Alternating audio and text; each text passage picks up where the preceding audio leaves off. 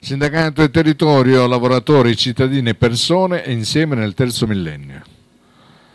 Sindacato e territorio, lavoratori, cittadini e persone insieme nel terzo millennio, questo è il tema del sesto congresso territoriale WILP FPL Siracusa che si è tenuto stamane all'auditorium del Museo Paolo Orsi. La WIL è fortemente convinta che questo tema debba rappresentare l'occasione per aumentare la base di consenso verso le fondamentali tematiche di cui essa è veicolo e per ampliare il coinvolgimento di tutti, a cominciare dalle lavoratrici e dai lavoratori fino ad arrivare alle giovani generazioni per ribadire l'importanza di questi temi in un momento di crisi politica.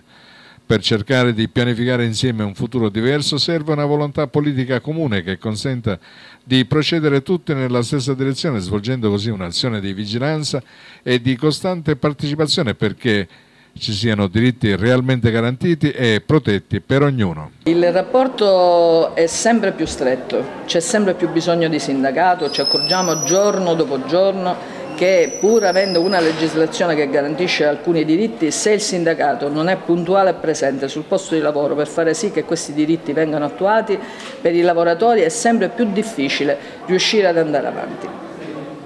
Va benissimo. Sentiamo. Oggi si svolge il congresso provinciale di Siracusa della WIL FPL si fa il punto della situazione ma più che altro si guarda all'indietro a questi ultimi quattro anni come l'organizzazione ha vissuto nel territorio, come si è comportata, i grandi risultati che ha raggiunto e, si, e come si proietta per il prossimo futuro. Sono sempre queste occasioni, le occasioni dove ci si riunisce e ci si guarda e si guarda al passato passando attraverso il presente e proiettandosi attraverso il futuro. Credo che l'FPL di Siracusa abbia dimostrato di avere una continuità col passato ma di essere veramente avanti nei tempi. Abbiamo avuto una grandissima risposta con le elezioni dell'RSU, ottimi risultati in tutta la Sicilia, ma soprattutto qui a Siracusa. Vista la situazione di un uh, Covid che ancora è dentro gli uffici, come in tutti, in tutti i posti, tanti dipendenti erano a casa malati, siamo riusciti ad avere un grandissimo risultato e questo sicuramente è, raccogliamo quello che abbiamo seminato anche in piena pandemia.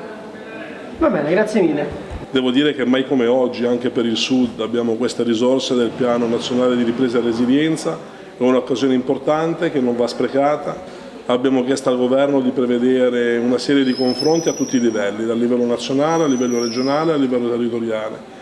Perché come diceva Papa Francesco, peggio della pandemia è quello di sprecare le opportunità che questa comunque eh, ci comporta perché abbiamo queste risorse che arrivano dall'Europa e quindi dobbiamo cercare con queste di rilanciare il Paese, ridurre il divario che c'è ancora tra nord e sud e soprattutto rimettere al centro la persona, i suoi bisogni e quindi noi che facciamo sindacato nella sanità e nell'autonomia locale siamo molto interessati a ampliare il perimetro pubblico che in questi anni è stato completamente smantellato.